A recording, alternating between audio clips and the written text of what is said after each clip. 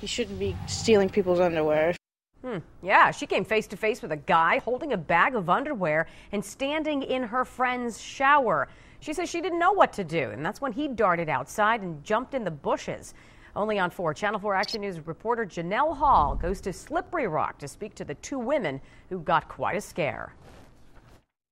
These are the apartments here in Slippery Rock where police say a man broke in to steal women's underwear. One of the girls came face to face with the guy. She says he ran off and hid behind those bushes right near a pool next door.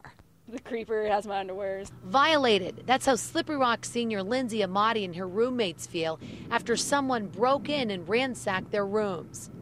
He stole stuff out of my dirty laundry basket and my underwear drawer.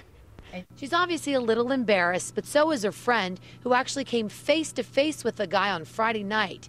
She stopped by to visit, and she didn't realize who he was. Friday night, um, I walked into the house and I was just going to use the restroom, and he was there hiding in the bathroom. So, and then he like tried to pretend he was gonna scare somebody, so he like said wrong person and walked out. I just thought it was strange that like my bathing suits were on the ground. I wish I would have yeah like caught him, you know, because if I would have known he wasn't a friend, I would have stopped him. Because I saw him with a bag, I didn't really, you know, what he was doing with the bag. But you know, what if she did confront him in the shower? What if he had a weapon or something and could have hurt her? And Lindsay tells us their Elm Street apartment wasn't the only place where girls have been complaining about missing lingerie here in Slippery Rock. It was upstairs and downstairs here, and down the street there was a girl. Um, he got into their house, and last year um, he got into the house right in front of ours here. He shouldn't be stealing people's underwear. If he needs, just go to Walmart, buy your own underwear.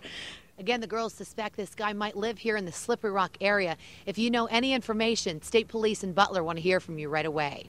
In Slippery Rock, I'm Janelle Hall, Channel 4 Action News. New tonight, police in Allegheny County